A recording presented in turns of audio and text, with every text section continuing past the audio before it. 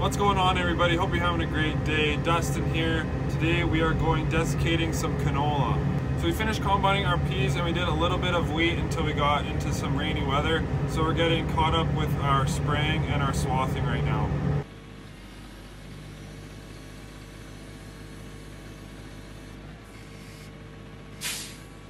So right now I am spraying the canola. We are going to straight cut, spraying Roundup and heat. So hopefully, know, whenever we get down here, probably 10 days, this will be ready to go. And then just across the road, Ronnie is cutting, or is swathing the canola we are going to pick up. I forgot about these washouts and I smoked one of these going 13 mile an hour. But uh, things are still holding together. Better if you slow down for them. So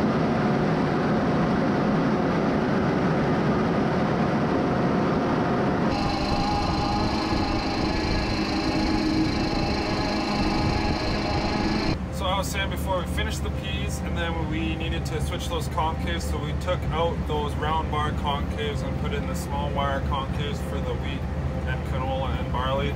It's not too bad. We only had to do the one combine. Um, just a few hard bolts to get to, but it wasn't too bad overall.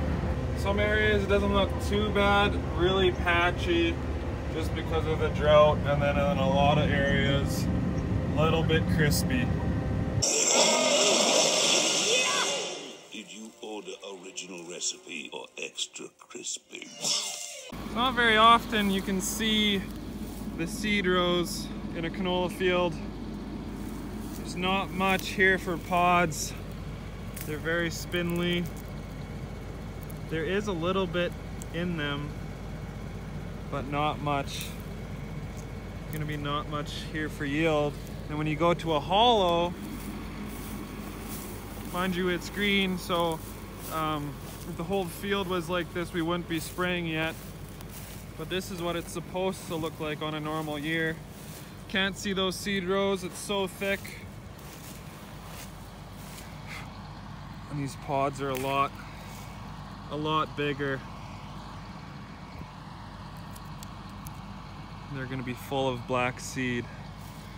So we just need a little bit of moisture and we didn't quite get it.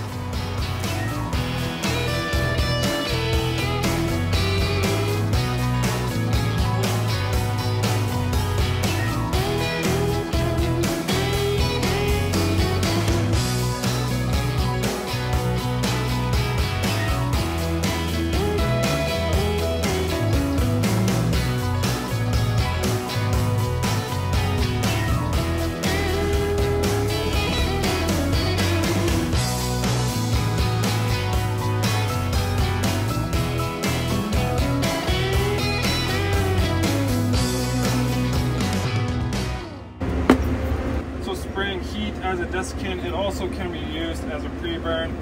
The harvest interval is three days. We won't be here in three days, probably at least a week, maybe 10 days. And the staging apply when 60 to 70% of the seeds have changed color. I think we're at, I think we're past that actually, probably closer to 80%, which is good.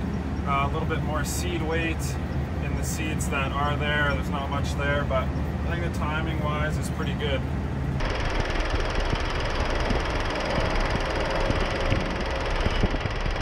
Last year I made a video about the differences between straight cutting and swathing canola. I'll put a link to that video there, I think.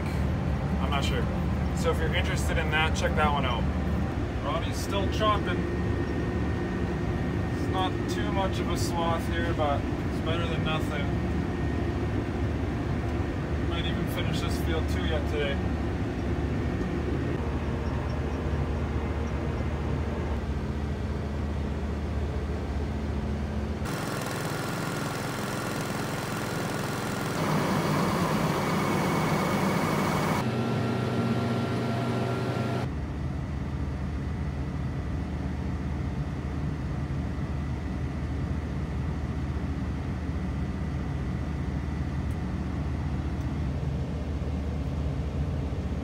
Canal's bad up here.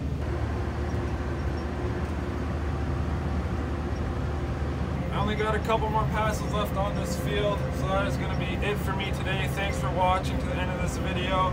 Uh, today is Thursday the 19th. Hopefully this video is out by Saturday, and on Saturday night, the 21st, the Saskatchewan Roughriders play Ottawa in Regina. My prediction, Riders by 10. That's my prediction. Hopefully it comes true. Thanks for watching to the end. Have a good one.